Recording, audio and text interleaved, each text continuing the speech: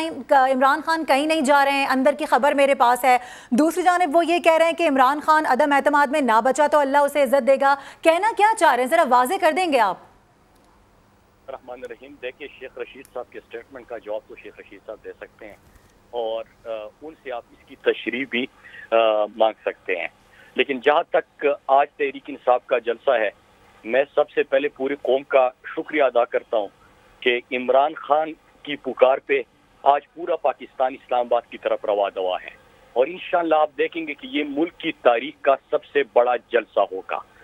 अब सवाल ये कि ये जलसा क्यों हो रहा है और पूरी पाकिस्तानी कौम क्यों इमरान खान के साथ खड़े हैं? इसमें तो कोई शक नहीं है कि दो तमाम पार्टियाँ आज मिलकर और इकट्ठे हो गई है।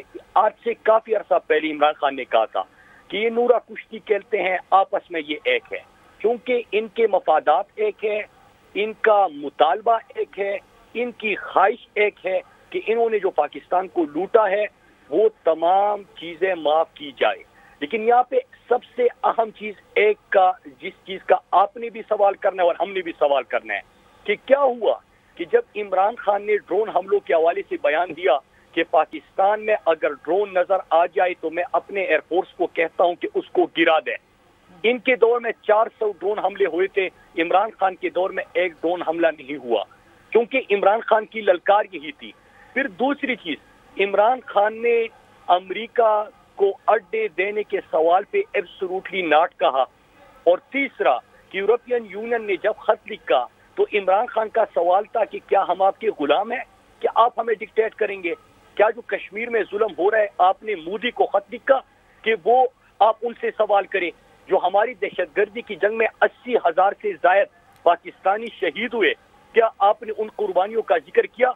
और चौथी सबसे अहम चीज़, कि अकवा मुतहदा में इमरान खान और पाकिस्तान की करारदाद इस्लामोफोबिया के खिलाफ मंजूर हो गई और 15 मार्च आलमी दिन मनाया जाएगा इसका मुराद सही साहब मुराद सही साहब कथा कलामी की माजरत बिल्कुल आपकी बात बजा है और इसको हर कोई अप्रिशिएट भी कर रहा है। हम देख रहे हैं पूरी कौम इस चीज़ को अप्रिशिएट करे जिस तरह से आवाज़ उठाई गई है वजी अजम इमरान खान की जानब से। लेकिन ये महँगाई मुकाव मार्च है। अवाम परेशान है महँगाई से उस पर ये मार्च हो रहा है। अवाम नहीं अवाम इन आपने इनका स्टेटमेंट खुद सुना। शहबाज शरीफ ने कहा जब उससे सवाल हुआ कि आप कीमतें पेट्रोलियम की किस तरह कम करेंगे उसने कल ही कहा कि ये तो आर्मी मंडी तय करती है। शायद खाकाना बासी ने उल्टा हमसे सवाल किया और गिला क्या किया सुनिएगा। गिला ये किया है कि आलमी मंडी में कीमतें बढ़ रही है तो इमरान खान ने ये रिलीफ पैकेज क्यों दिया और दस रुपए पेट्रोल और पाँच रुपए बिजली फ़ी यूनिट क्यों कम कर दी? तो इनका तो मार्च का मतन ही गलत हुआ ना। अच्छा, अच्छा मुराद साहब ये जो अच्छा, आज का इवेंट है जिसको लेकर बड़े बड़े ऐलान किए गए हैं मुराद साहब साहब अवाम की थोड़ी सी कंफ्यूजन भी क्लियर कर देना। अब अवाम ये सोचने पर मजबूर हैं कि क्या ऐसी बड़ी चीज़ अपोजिशन के हाथ लग गई है जिसकी बुनियाद पर दावे किए जा रहे हैं या क्या ऐसा कुछ नेक्स्ट मूव हुकूमत चलने जा रही है कि जिस पर अपोजिशन बौखला कर रह जाएगी? आज के इवेंट में ऐसा होने क्या जा रहा है? कुछ थोड़ी बहुत हिंट तो दे दे आवाम को। देखिए पहली चीज़ ये है कि अगर आप मुझे मौका दें क्योंकि आप मैं फ़ोन पे हूँ मैं कोई आपके स्टूडियो में नहीं बैठा। जी जी। कि मैं आपके सामने हूँ और डायरेक्ट में आप क्योंकि आप बात करते हैं तो मुझे बाद में आवाज़ आती है तो बीच में दोनों को समझ नहीं आएगी। ठीक है। ठीक है? अच्छा आ, मैं अपनी बात मुकम्मल कर दूँ कि ये जो आप एब्सोलूटली नाट की यूरोपियन यूनियन को ज़रूरत सवाल की ड्रोन हमले को गिराने की और इस्लामोफोबिया के खिलाफ जदोजहद करने की इसकी कीमत होती है ना दुनिया में? आज तक पाकिस्तान को तो सिर्फ़ दो मोर का हुक्म मिलता था। और मैं ये साबित करूँगा अभी तीन जुमले बोल के कि फजूर रहमान की जुमात ने सेनेट में करारदाद जमा की कि इमरान खान को क्या ज़रूरत थी। इमरान खान को क्या ज़रूरत थी यूरोपियन यूनियन को ये कहने की कि हम आपके गुलाम नहीं है। ये सेनेट में करारदाद जमा हुए number one. Number two, Shahbaz Sharif आपके टीवी चैनल पे आके कहता है कि एब्सोल्युटली नाट की क्या ज़रूरत थी। तो एफ़ की नाट की आपके लिए ज़रूरत नहीं थी। पाकिस्तानी शहीद हो रहे, उनके लिए ज़रूरत थी।